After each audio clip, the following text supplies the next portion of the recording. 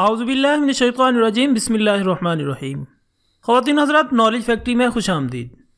ناظرین اکرام، اسلام ایک مکمل ضابطہ حیات ہے، جس میں زندگی کے ہر پہلو سے متعلق رہنمائی موجود ہے۔ ہمارے پیارے نبی حضرت محمد صلی اللہ علیہ وآلہ وسلم نے آج سے چودہ سو سال پہلے جو سنت اختیار کی تھی اور جن پر عمل پیرا ہونے کا حکم دیا تھا، آج سائنس بھی ان احکامات کو منوعن تسلیم کرتی ہے۔ خواتین حضرت، ہمارے پیارے نبی حضرت محمد صلی اللہ علیہ وآلہ وسلم نے جہاں سونے سے پہلے وضو کرنے کا حکم دیا، تو وہیں نماز سے قبل دانتوں کو صاف کرنے کا حکم بھی موجود ہے۔ اور آج سائنس کہتی ہے کہ ایسا کرنے سے انسان دانتوں کی بیماریوں کے ساتھ ساتھ دل اور میدے کی مہلک بیماریوں سے بھی محفوظ رہتا ہے۔ نبی اکرم حضرت محمد صلی اللہ علیہ وآلہ وسلم کے احکامات اور سنت سے یہ بات ثابت ہے کہ سونے سے پہلے اپنے بستر کو تین بار جھاڑ لینا چاہیے۔ بظاہر تو ایسا نظر آتا ہے کہ اس حکم کا مقصد بستر کو کیڑے مکوڑوں یا دوسری نقصان دہ چیزوں سے صاف کرنا ہے۔ لیکن سائنسی تحقیق میں ایسا انکشاف ہوا ہے کہ آپ بھی سن کر دنگ رہ جائیں گے۔ اسی ٹاپک پر مزید بات کرتے ہیں، لیکن اس سے پہلے میں نئے آنے والے تمام ساتھیوں سے گزارش کرتا ہوں کہ چینل کو سبسکرائب کر لیں۔ اور کسی بھی قسم کے سوال پوچھنے کے لیے آپ ہمارے فیس بک پیج پر رابطہ کر سکتے ہیں۔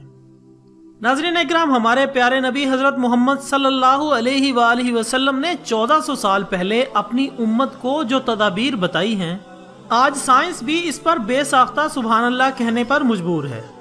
سائنس کے مطابق انسانی جسم میں میٹابولزم کا عمل چوبیس گھنٹے جاری رہتا ہے، جس کے باعث ہر پل جسم میں سینکڑوں نئے سیل بنتے اور پرانے ٹوٹتے رہتے ہیں۔ حیران کن بات یہ ہے کہ سونے کے دوران جسم سے ٹوٹنے والے سیل بستر پر ہی گر جاتے ہیں، جو انتہائی چھوٹے ہونے کے سبب نظر نہیں آتے۔ اگر ہم بستر کو بغیر جھاڑے اس پر سونے کے لیے لیٹ جائیں تو یہ مردہ سیل جسم میں داخل ہو کر کئی مہلک بیماریوں کا سبب بنتے ہیں۔